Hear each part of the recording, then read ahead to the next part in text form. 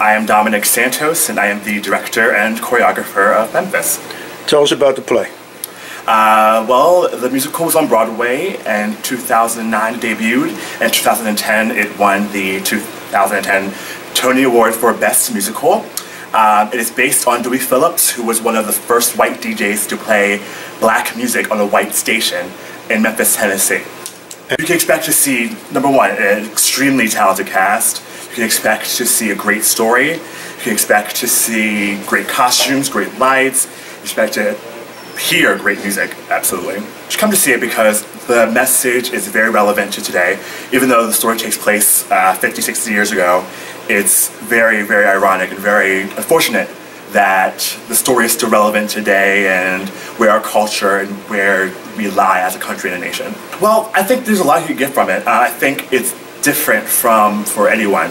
Um, I think mostly the message is just to go your own route and not to really think of what's holding you back and just go. Um, sometimes it may take you where you want to be, sometimes it may take you not where you want to be, but it'll all be worth it in the end. Oh. Uh, Memphis runs September 11th through the 27th at the Wilmington Drama League. See ya. All right. I'm Caty Butler. I'm music musically directed at Memphis the Musical. I'm Kim Walton and I'm playing keys for the musical. The music of Memphis is very rock and roll, R&B. Quote from the show, R&B is rock and roll just R&B sped up. So it's very jumping and jiving and it's a lot of fun. It's the soul and it's what was great about the music of this era back in 1951 is when the teens it was a great way to bring the segregation together because all of the teenagers of both races used the music as a link. And why should we come see Memphis the Musical? Because it's an energetic, fun show with an important message that we can't forget where our country was back in 1951 and how far we've come from then.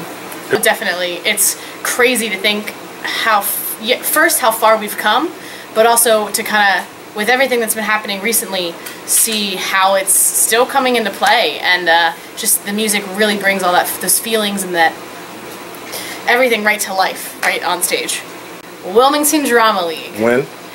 September 11th through 27th, Fridays, Saturdays at 8, Sundays at 2. Okay, what's your name and your part in the play?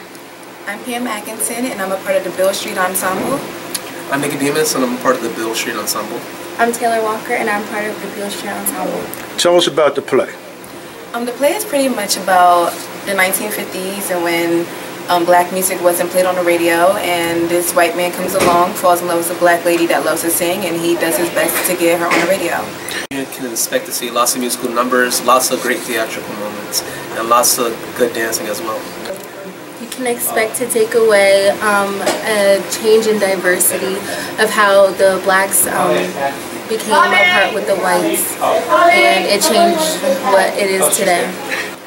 Yes, there definitely is a big message that you can take away from this show. It shows how music can bring us all together no matter race, and no matter uh, size, skin color. It's just a message of music how it can be spread across through all types of nationalities and ethnicities as well. Are any of you in school right now? I go to Dickinson High School in Wilmington. I'm a sophomore at the University of Delaware in Newark, Delaware. I'm not in school. The play is September 11th till September 27th every weekend, Friday, Saturday, and Sunday. Wilmington Drama League. And Wilmington, Delaware. All right, thank you. Break a leg and have a great time at the show. Thank, thank you. you.